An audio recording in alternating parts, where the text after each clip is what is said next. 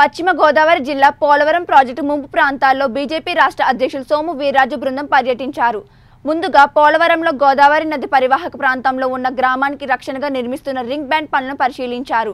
గోదావరి వరద ఉధృతి గ్రామాల పరిస్థితి గురించి అధికారులను అడిగి తెలుసుకున్నారు. తరువాత పోలవరం మండలంలోని ఎల్ఎన్డి పేట గ్రామం వద్ద నిర్మించిన కోండ్రుకోట పునరావాస గ్రామాన్ని పరిశీలించి నిర్వాసితులు సమస్యలు అడిగి తెలుసుకున్నారు. ఇప్పటి వరకు పునరావాస కాలనీలో మౌలిక సదుపాయాలు పూర్తిగా సమకూర్చలేదని కనీసం ఉపాధి మార్గం కూడా కల్పించలేదని బాధితుల సమస్యలను సోము వీర్రాజు దృష్టికి తీసుకువెళ్ళారు. భూమికి భూ పరిహారం మినహా నిర్వాసితులందరికీ ఆర్ అండ్ ఆర్ ప్యాకేజీ సక్రమంగా అందలేదని పద్దెనిమిది సంవత్సరాలు నిండిన యువతలకు ఇస్తానన్న ప్యాకేజ్ ఇవ్వకుండా మోసం చేశారంటూ నిర్వాసితులు బీజేపీ బృందానికి తెలిపారు. సత్వరమే నిర్వాసితులకు న్యాయం చేసేలా ప్రభుత్వాన్ని కదిలిస్తామని రాష్ట్ర ప్రభుత్వం చేస్తున్న అన్యాయంపై పోరాడతామని సోము వీర్రాజు నిర్వాసితులకు హామీ ఇచ్చారు.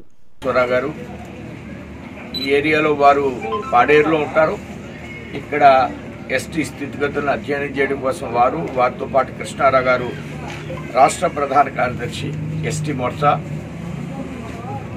వివిధ బాధ్యతలు కలిగినటువంటి మేము గతంలో అనేకమైన సార్లు ఈ పునరావాస కేంద్రాలను గమనించడం జరిగింది. ఈ సందర్భంలో కూడా చాలామందికి ప్యాకేజీ రాక పునరావాస కేంద్రాల్లో ఉన్న స్థితులు కూడా సరైన నీటి సౌకర్యం లేక కరెంటు సౌకర్యం లేక ఇబ్బందులు నూచుకున్నటువంటి పరిస్థితుల్లో ఒకసారి వారితో వ్యక్తిగతంగా మాట్లాడాలి.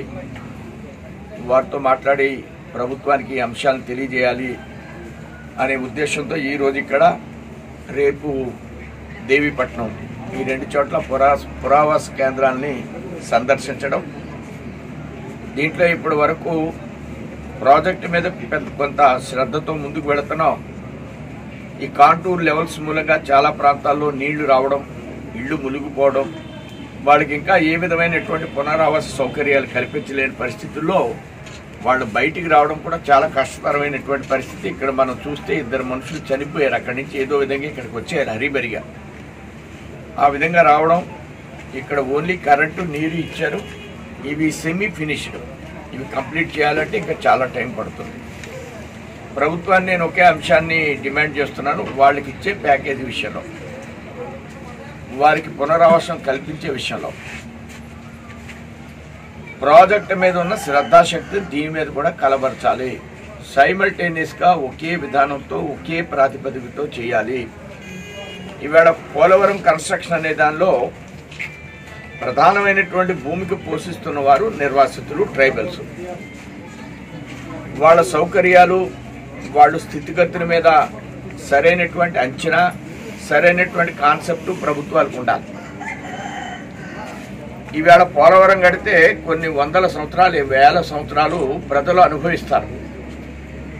కానీ ప్రజలు ఎంతైతే ఎంజాయ్ చేస్తున్నారో బయటకు వస్తున్న పునరావస్థితుల మీద కూడా అంత కాన్సెప్ట్తో ప్రభుత్వం పనిచేయాలి. ఇది కొరవ కొరవడింది. గత ప్రభుత్వంలోనూ కొరవడింది. ఇప్పుడు కూడా అదే స్థితి అధికారుల మూలంగా జరుగుతుంది. ఇది మంచి సంప్రదాయం కాదు. ఇప్పటికైనా వాళ్ళకి ఇచ్చే భూమి విషయం కావచ్చు. ఇక్కడ భూమి ఇక్కడ ఇల్లు నలభై కిలోమీటర్ల అవతల వ్యవసాయం చేసుకోవడం. అలానే ప్రభుత్వ ప్యాకేజీలో వివిధ అంశాలు ఉన్నాయి. పోడు భూములు ఉన్నాయి. వాళ్ళకి పట్టాలు ఇవ్వకపోవడం. పిల్లకి పెళ్ళి అయింది. కానీ వాళ్ళకి ఈ ప్యాకేజీలో చేర్చకపోవడం. అలా ఏమన్నా అడిగితే బీజేపీ వాళ్ళు తీసేయమన్నారని చెప్పారట. మేము పదిహేడులో స్టార్ట్ చేసిన ఈ ప్రాజెక్ట్కి ఇప్పటికి పదకొండు వేల కోట్ల రూపాయలు ఇచ్చాం. ఇందులో నాలుగు వేల కోట్లు ప్యాకేజీకి ఉపయోగించారు. ఏడు వేల కోట్లు ప్రాజెక్టులో పెట్టారు. మేము చెప్తుంది ప్రాజెక్టులో ఎంత పెడుతున్నారో ప్యాకేజీలో అంతకంటే ఎక్కువ పెట్టాలనేది భారతీయ జనతా పార్టీ యొక్క డిమాండ్. డబ్బు మీరు ప్రభుత్వానికి కన్విన్స్ చేసి తీసుకురండి. తీసుకొచ్చి అవసరమైతే ప్రభుత్వం కేంద్రాన్ని కన్విన్స్ చేయాలి.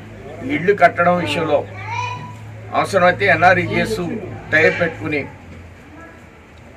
అలానే హౌస్ ఫర్ ఆల్ అనే స్కీమ్లో కూడా కొన్ని ఇళ్ళు తీసుకుని కట్టాలనేది నా వ్యక్తిగతమైన అభిప్రాయం. ప్రభుత్వం ఆ విధంగా కూడా ప్రయత్నం చేయాలి. ఏంటి డబ్బు లేదు అనే దానికంటే రెండు యూనిట్స్ని ఒక ఇల్లుగా తీసుకుని ఒక రెండు లక్షలు ఇళ్ళు అడిగితే గవర్నమెంట్ ఆఫ్ ఇండియా ఇవ్వడానికి అవకాశం ఉంటుంది. ఇరవై ఒక్క లక్షలు ఇళ్ళు ఇచ్చారు ఇప్పుడు ప్రభుత్వం. అర్బన్ హౌసింగ్కి ఇరవై ఒక్క లక్షలు ఇళ్ళు ఇచ్చారు. ఇరవై ఒక్క లక్ష ఇంటికి ఇంటికి లక్ష ఎనభై వేలు ఇచ్చారు.